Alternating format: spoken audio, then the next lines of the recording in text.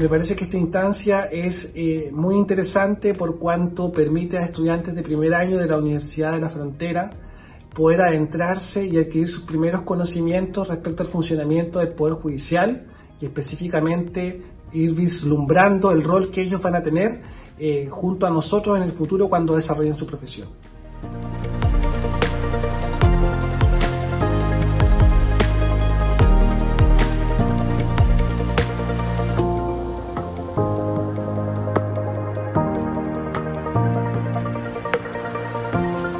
Primera vez que visitaban eh, la corte y el tribunal y la verdad es que eh, me manifestaban estar como muy sorprendidos también por distintos factores o elementos que hacen muy particular el mundo, del mundo judicial, ¿no? desde los conceptos, el protocolo, el orden hay que, hay que tener ¿no? y también cómo se fueron conociendo o fueron conociendo más bien cuál es la dinámica y los roles y funciones que cumplen cada uno de los actores en torno al Poder Judicial.